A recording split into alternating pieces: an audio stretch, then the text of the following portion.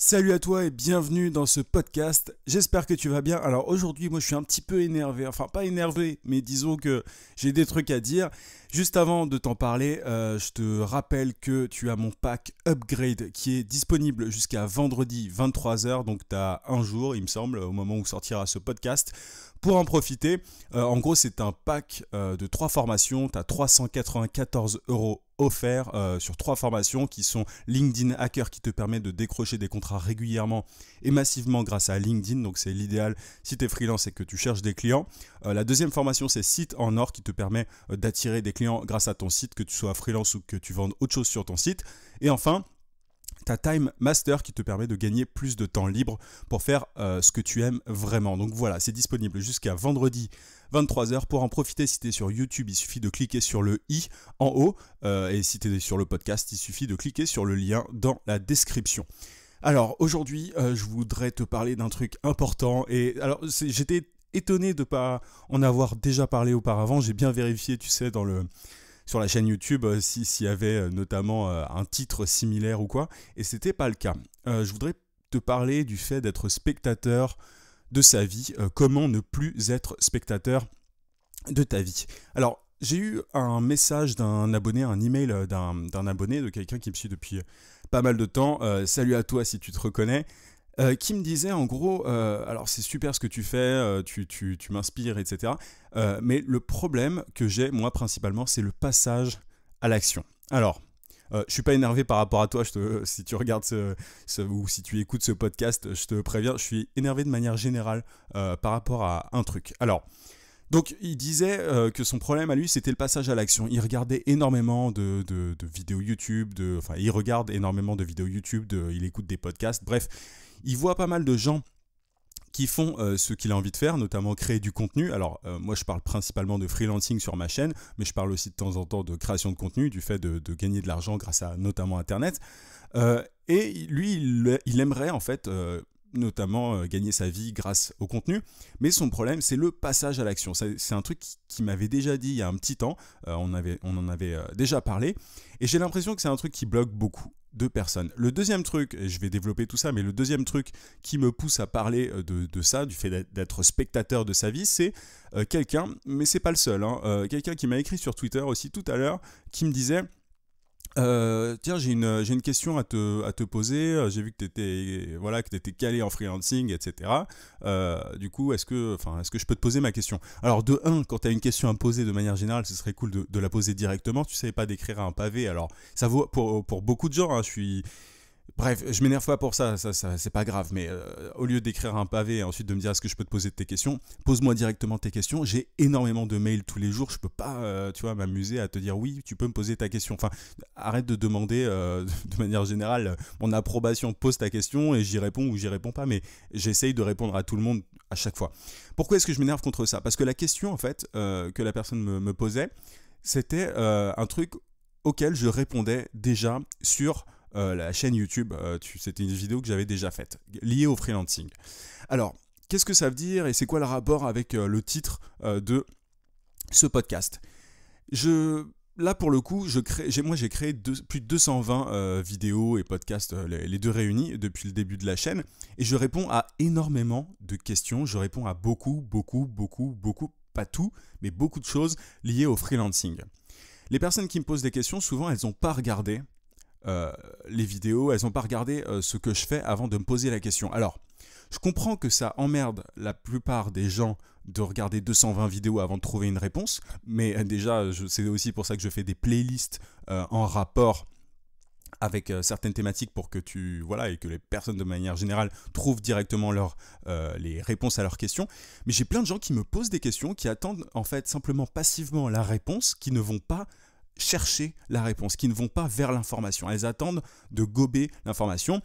Si tu vois une chaîne qui parle beaucoup de freelancing, t'imagines que je réponds il y a de grandes chances que je réponde à la question que tu te poses. Enfin, c'est pas que j'ai traité toutes les questions, toutes les problématiques. Euh, j'ai pas répondu à, répondu à tout, c'est sûr. Mais euh, en fait, le simple fait d'attendre de recevoir la réponse, le simple fait d'être spectateur, parce que là c'est ça en fait, euh, la personne, euh, enfin je, m'énerve pas contre cette personne en particulier, c'est un état d'esprit ambiant en général, enfin euh, c'est un truc qui, qui m'arrive très souvent, des gens qui me posent des questions et qui ne vont pas chercher l'information elle-même. Et souvent ma réponse c'est, bah j'en ai parlé sur la chaîne YouTube, je t'invite à regarder la vidéo. Et bah en fait, les, personnes peuvent se dire ouais mais ça m'emmerde de faire ça, ça m'emmerde de chercher sur 220 vidéos, mais c'est en gros c'est considéré que moi, je, travaille quasiment pour rien. Je veux dire, toutes ces vidéos, elles sont gratuites. Si tu me, enfin, si toi ou quelqu'un d'autre me repose la question derrière, alors que j'ai déjà pris 15 minutes dans un podcast ou autre pour en parler, c'est vraiment considéré que mon travail ne sert à rien ou que j'ai que ça à faire. Et que, et c'est pas le cas c'est pas un podcast où je m'énerve contre ces personnes-là, je m'énerve contre l'état d'esprit. Il y a beaucoup de personnes qui veulent gober l'information et qui, bref, qui attendent en fait la réponse, qui attendent aussi le miracle. Moi, je considère que, et c'est pas de la, démagogie du tout, je considère que mes abonnés, les personnes euh, qui écoutent le podcast, sont intelligentes. Et c'est vraiment pas de la démagogie parce que je refuse parfois à certaines personnes de, euh, enfin, je leur dis de ne pas acheter mes formations, notamment, ou parce que je considère que ça va pas être bien pour, pour, pour ces personnes parce qu'elles vont pas, euh, elles attendent une solution miracle, elles attendent un, bref, qu'on, quasiment qu'on fasse le boulot à leur place. Si tu veux que quelqu'un d'autre fasse le, le boulot à ta place, si tu veux qu'elle te donne toutes les réponses, toutes les clés en main, etc., tu n'y arriveras pas en tant qu'entrepreneur. Être spectateur de sa vie, c'est ça, c'est considérer euh, que quelque chose va arriver, qu'un miracle va arriver, qu'on va trouver euh, l'illumination, j'en sais rien, mais que quelque chose va se passer, qu'il va y avoir un déclic qui va se créer tout seul. C'est pas comme ça que ça se passe. Pour être, pour ne plus être spectateur de sa vie, il faut considérer à un moment qu'il faut passer à l'action, qu'il faut faire les choses et pas attendre euh, qu'on te mette le truc dans la bouche. Désolé d'être un petit peu énervé comme ça, mais en fait, l'information elle est partout tu as de l'information absolument partout. Alors déjà, si tu sais pas la chercher, si tu sais pas la chercher sur une chaîne YouTube, c'est un premier problème, c'est un premier obstacle pour être entrepreneur. Il euh, faut être débrouillard. Donc si tu n'arrives pas à, euh, trouver un titre euh, sur une chaîne vidéo, enfin sur une chaîne YouTube, un, truc en particulier, alors qu'il y a quand même 220 vidéos qui traitent de quasiment tout sur le freelancing, pas tout, mais de beaucoup de choses, c'est un problème. Ensuite, on est dans une société où il y a énormément d'informations. On te dit, ah bah tiens, tu peux faire ceci, cela. Et en fait, ça, par contre, je le comprends plus, ça paralyse beaucoup de gens. Ça paralyse, euh, tu vois, ça, peut te paralyser. Tu peux te dire, bon, euh, ok, j'ai plein d'informations euh, qui arrivent de toutes parts, et maintenant, qu'est-ce que je fais? Il y a beaucoup de gens qui regardent des vidéos YouTube, donc je refais pour le coup référence à l'abonné qui m'a envoyé un email qui me parlait de passage à l'action. Il y a beaucoup de gens qui consomment du contenu, qui consomment, consomment. Et j'étais aussi dans ce cas-là, moi, au départ. J'étais en train de, tu vois, je consommais plein de trucs, j'étais inspiré, ça me faisait rêver, tout ça, le, fait d'être entrepreneur, d'être freelance, de... tout ça, ça me faisait rêver. Et, mais il n'y a rien qui m'est tombé dessus et qui a fait que euh, je, tu vois, que j'ai agi en fait. Il n'y a rien qui, il n'y a pas de miracle en fait, il n'y a pas de secret. Il y a des gens qui te disent, ah bah tiens, le dropshipping, c'est l'opportunité que tu attends. Euh, euh, la création de contenu, c'est l'opportunité que tu attends. Bref, il y a plein d'opportunités, de bref, les gens en fait ils, essayent de te vendre, et notamment sur internet, on, on essaye de te vendre des miracles, des solutions clés en main, des bref, on essaye de te vendre des opportunités, des, des trucs qui vont te faire dire ah bah tiens ça c'est le truc qu'il me faut. Il n'y a pas un truc qu'il te faut il te faut déjà changer ce que tu as dans la tête. Euh, et, honnêtement, tu vois, moi, pour le coup, je ne suis pas différent de toi. Il n'y a pas de miracle qui s'est produit. Euh, c'est juste qu'il y a un moment, il y a un truc qui a fait que j'ai agi parce que je ne voulais pas faire partie de ces consommateurs, euh, tu vois, toute ma, je voulais pas juste consommer. Je voulais participer, je voulais avoir un impact sur ma propre vie. Je voulais pas qu'on décide pour moi. Ça, soit tu l'as, soit tu l'as pas. Honnêtement, ça sert à rien d'être entrepreneur si tu peux te contenter d'être consommateur, si ça te plaît de regarder des vidéos YouTube à longueur de temps ou Netflix ou je sais pas quoi, tu peux, tu vois, moi concrètement, cet après-midi, qu'est-ce que j'ai? Là, je fais le podcast, euh, il est, euh, même pas, je sais pas quelle heure il est, il est 11h, 11h30. Cet après-midi, je pourrais ne pas bosser, je pourrais ne rien faire du tout. Je pourrais vraiment me poser, euh, aller me promener avec de, la famille ou des proches, aller, bref, et, encore, eux, ils travaillent, mais je pourrais me promener, je pourrais faire des magasins pour Noël, je pourrais faire plein de trucs qu'est-ce que je vais faire? Je vais me renseigner sur, euh, je vais me former en fait. Je me forme constamment et j'attends pas qu'on me donne la réponse au départ quand je me suis lancé euh, en freelance. Il y a personne qui m'a dit il faut que tu fasses ça. Alors moi j'ai créé la chaîne YouTube pour justement aider parce que je considérais qu'il n'y avait pas beaucoup de, bon contenu sur le freelancing, qu'il n'y avait personne pour, euh, pour botter le cul des autres qui voulaient se lancer comme moi. Bref, il y avait pas, il manquait des trucs. Mais personne ne m'a donné les réponses, euh, tu vois, toutes faites. Je, me suis foiré. Il faut apprendre à se foirer. Je le dis tout le temps, ça c'est un truc, je me répète, mais il faut juste accepter que la, clé du succès, si, tu veux des clés, bah, c'est d'agir et, te foirer. Et je me foire encore plein de fois. Et cet après, tu vois, actuellement, je suis en train de me, concentrer sur un truc en particulier. J'ai une problématique que j'essaye de régler. Parce que même si tu gagnes, euh, tu vois, même si tu gagnes des milliers et des milliers d'euros euh, par mois, ça veut pas dire que tu es parfait. Tu as toujours des trucs à améliorer. Mais les gens, ils ont l'impression que ah ben, il faut un truc, a un truc qui va me débloquer, il y a le truc qui va me permettre de passer à l'action. Non, en fait, soit acteur de ta vie, soit tu es consommateur. Tu vois, si je refais référence euh, au cours que je donnais la semaine dernière en école de journalisme, c'était super intéressant. À un moment, j'étais dans la classe, alors c'était la première fois que je donnais des cours.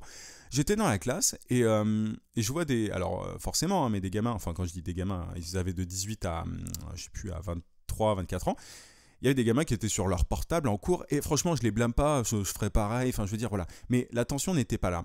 Et à un moment, le truc c'est que je leur donnais des trucs ultra pratiques, ultra concrets comme ce que j'essaye de faire sur ma chaîne YouTube, tu sais, j'essaye d'avoir ne pas j'ai essayé en tout cas pendant cette semaine de ne pas être le prof relou qui donne 4 heures de cours théoriques, mais c'était 4 heures, mais c'était ultra pratique, on a parlé notamment de LinkedIn, on a fait des trucs ultra pratiques.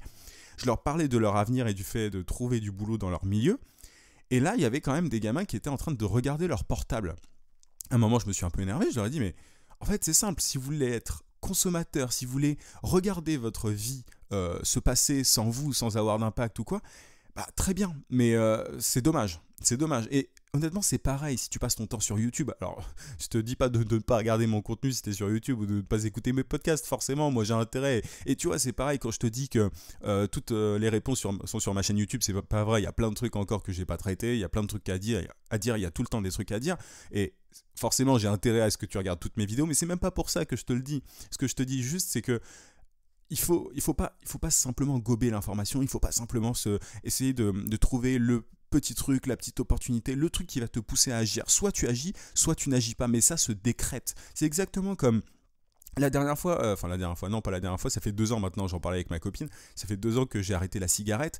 À ton avis, qu'est-ce qui m'a fait arrêter la cigarette? Alors, il y a une motivation, euh, le parallèle, je sais pas si tu le vois, mais il y a une motivation, il y a un vrai truc derrière, il y a, une, il y a un déclic, ok, mais il n'y a pas que ça. Il y a aussi un jour, je me suis dit arbitrairement, ça, c'est ma dernière cigarette. Et c'est comme ça que ça se passe. C'est pareil si tu veux être entrepreneur. Il y a un jour, il faut que tu te dises, bah aujourd'hui, je vais commencer à chercher des clients. Il y a plein de gens qui me disent, oh, par quoi est-ce que je dois commencer pour devenir freelance? Mais c'est aussi simple que ça, il faut trouver des clients. Il ne faut pas s'emmerder avec les histoires de statut ou je ne sais quoi. Il faut que tu cherches des clients. Et c'est pas telle vidéo YouTube ou telle vidéo YouTube qui va te pousser à agir.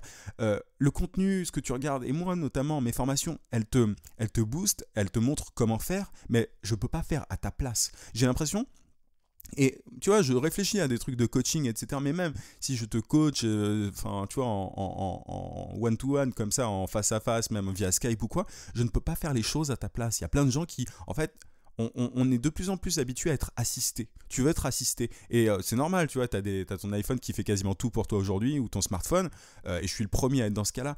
Mais en fait, dans cette société où il y a de l'information partout, la seule différence euh, entre ceux qui, qui, voient leur vie défiler sans avoir d'impact dessus et les autres, c'est euh, le, fait de se dire, bon, bah aujourd'hui j'agis, aujourd'hui je fais un truc, j'essaye d'exécuter, j'essaye de mettre euh, en pratique ce que j'ai vu. Et tu vas te foirer, il y a des trucs, tu vois, moi j'en parle de ces échecs-là, je parle des, des, fois où j'ai testé des trucs et où ça n'a pas marché, je parle de... Mais il y a plein de trucs, tu vois, enfin euh, tu peux tester, je sais pas moi, le dropshipping et voir que ça marche pas pour toi. Tu peux tester euh, une chaîne YouTube et voir que ça marche pas pour toi. Et ah bah tiens, euh, par contre le, blogging c'est un truc qui marche pour toi. Il n'y a pas de solution miracle. À chacun son truc. Il faut aussi se rendre compte que tout n'est pas fait pour toi. Moi je suis fait pour un certain type de business aussi. Tu vois, il y a des trucs qui me plaisent plus que d'autres. Il y a des trucs encore, encore une fois que j'ai foiré. Mais il s'agissait pas de me dire ah bah tiens c'est parce que c'était pas la bonne opportunité ou c'est parce qu'on m'a pas donné les bonnes informations ou quoi c'est parce que moi j'étais pas bon dans ce truc là j'en ai pris conscience et je me suis dit bon soit maintenant euh, tu attends tu attends que ça se passe tu attends d'avoir une autre opportunité ou je ne sais quoi tu vois il y en a d'autres maintenant actuellement l'opportunité c'est le bitcoin. Le bitcoin j'en ai parlé. Le bitcoin j'en ai parlé moi je gagne de l'argent grâce à ça mais le bitcoin ça peut se casser la gueule du jour au lendemain. Donc en fait, il y a des gens qui se disent Ah bah tiens, ça c'est le bon moment, c'est le truc qui va me permettre de, gagner ma vie, d'être indépendant, etc. C'est pas comme ça. En fait, et c'est aussi pour ça que je parle de sujets de plus en plus de développement personnel. Le vrai changement, il est dans ta tête. Le vrai changement, il n'est pas juste en termes, c'est pas juste de la technique et tout. Moi, je parle de technique et j'ai envie de faire des vidéos, euh, notamment sur la chaîne YouTube, un peu plus sur le sujet. J'ai envie de faire, tu vois, par exemple, le lundi, je sors rien en général. J'aimerais bien faire des, des, tutos où je montre un peu plus euh, mon écran, où je te filme mon écran. Il y a besoin de technique dans certains trucs, mais les, plus gros problèmes que je vois actuellement euh, chez les personnes qui n'y arrivent pas, c'est vraiment dans la tête. C'est pas des petites techniques de, euh, tu vois, je sais pas moi, de, souvent c'est que les gens n'ont pas assez de temps euh, pour pouvoir prospecter. Mais en fait, ils ont l'impression de ne pas avoir assez de temps, mais c'est pas que ça. C'est qu'il faut s'organiser. C'est qu'ils font pas l'effort de s'organiser pour avoir plus de temps. Bref, je me disperse un petit peu, mais je veux vraiment faire passer ce message-là que il y a ceux qui sont spectateurs de leur vie, il y a les acteurs, c'est un truc que tu as sans doute déjà entendu et tout, et toi tu vas peut-être te dire ouais mais t'es bien marrant, euh, comment est-ce que je fais pour passer à l'action? Ça se décide, ça se décide, ça se décide, désolé je le répète encore mais ça se décide. C'est pas un truc, que, tu vois, c'est pas, personne va te, te, dire de le faire. Aujourd'hui moi, si je veux rien foutre, désolé pour le terme, mais cet après-midi, je fais rien. Il y a personne qui va m'obliger, il y a pas un patron qui va me dire ah tiens fais ceci, fais cela. Il y a des gens qui sont faits pour le salariat, il y en a d'autres qui ne le sont pas. Si aujourd'hui tu as du mal à passer à l'action, c'est peut-être tout simplement désolé de dire la vérité comme ça, je parle de manière générale, je vise personne, mais c'est peut-être tout simplement que tu n'es pas fait pour ça. Euh, je considère que tout le monde peut, en réalité, en théorie, euh, être entrepreneur, mais il faut décider d'agir. Et si tu n'es pas capable d'agir, si tu n'es pas, pas capable de, de te foirer, parce qu'il ne s'agit pas de réussir tout de suite, si tu n'es pas capable de te foirer, si tu n'as pas euh, la capacité d'accepter les foirages, les échecs, etc., bah, il faut peut-être remettre ça en question. En tout cas, euh, l'idée, c'est pas de te plomber ou quoi, c'est vraiment juste de te dire à quel point pour moi, hein, en tout cas, je ne sais pas si tu partages euh, cette, cet avis-là, n'hésite pas à me le dire en, commentaire si tu es sur YouTube, mais pour moi, c'est très très simple. Il suffit de se bouger. Il suffit. Il suffit de décider qu'aujourd'hui, tu vas te bouger. Il suffit de se dire qu'aujourd'hui, bah, c'est, pas, c'est une nouvelle ère, c'est une T'appelles ça comme tu veux, tu peux utiliser Noël pour ça, tu peux utiliser la nouvelle année. Si tu as besoin d'un moment pour te booster, utilise-le. Moi, l'année dernière, je me revois euh, en vacances, euh, tu vois, euh, chez, chez mes grands-parents, dans le sud de la France. avant de, enfin, ça faisait 2-3 semaines que j'avais lancé la chaîne YouTube. Je te parle pas de cet été, je te parle d'encore avant. J'étais en train de me dire, l'année 2017, ça va être un énorme changement pour moi. Je vais tout faire pour radicalement changer ma vie. J'étais freelance depuis pas longtemps, ça marchait plutôt bien, mais c'était pas encore, euh, tu vois, le top. Et concrètement, on est en décembre 2017 et aujourd'hui, ma vie elle a complètement changé, mais littéralement. Et c'est pas parce que je détiens des secrets que tu n'as pas ou quoi. J'essaye de partager un maximum de trucs euh, avec toi par rapport à ce que j'apprends, ce que je sais, etc. Mais honnêtement, il y a une grande partie qui euh, provient de la simple action. Voilà un petit peu ce que je voulais te dire aujourd'hui. Euh, c'était un podcast un petit peu enflammé, disons, mais je m'énerve contre personne et pas contre toi, mais c'est vraiment une attitude générale. Et tu vois, je te parle à la fois des étudiants en cours, je te parle de...